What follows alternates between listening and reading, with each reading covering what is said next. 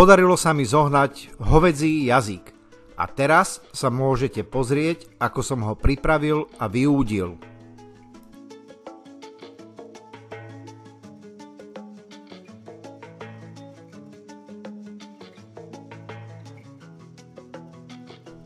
Hovedzí jazyk som nasolil s mesou kuchynskej soli a pragandy.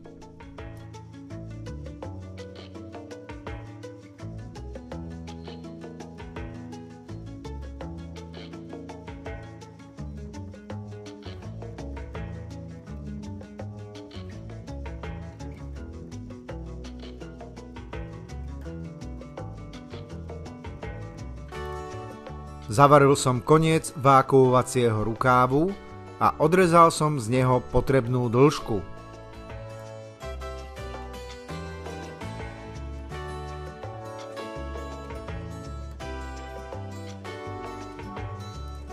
Voľný koniec vákuovacieho vrecka som ohol na vonkajšiu stranu a do vrecka som vložil nasolený hovedzí jazyk.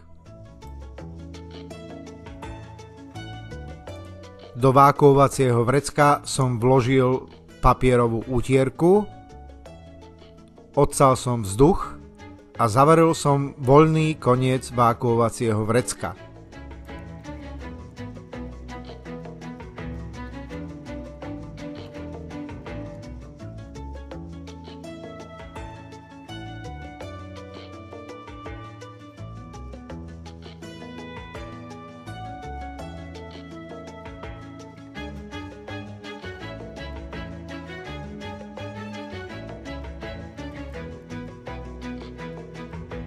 Pre istotu som na konci vrecka urobil ešte jeden zvar.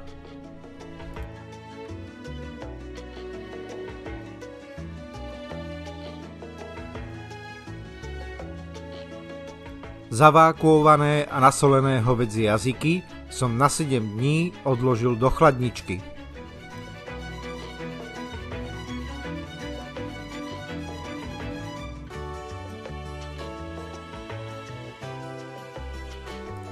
Po týždni som jazyky vybral z vákovacích vreciek a dôkladne som ich opláchol pod tečúcou vlažnou vodou.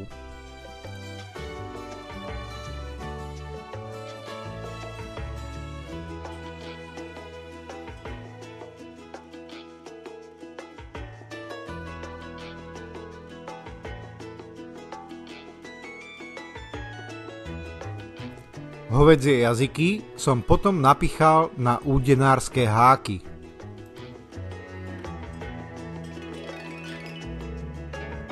Údiareň som rozohrial na 70 stupňov Celzia.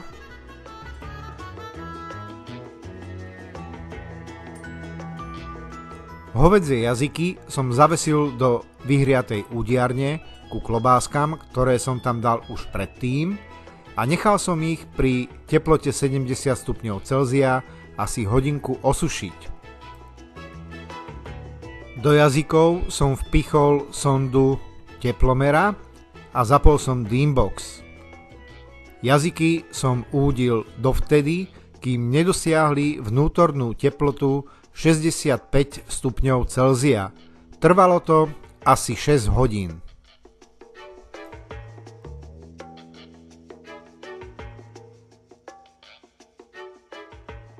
Ak sa rozhodnete vyskúšať urobiť takýto údený jazyk, dajte mi vedieť, ako sa vám to podarilo. A nakoniec, ako vždy, vám zaželám už iba dobrú chuť.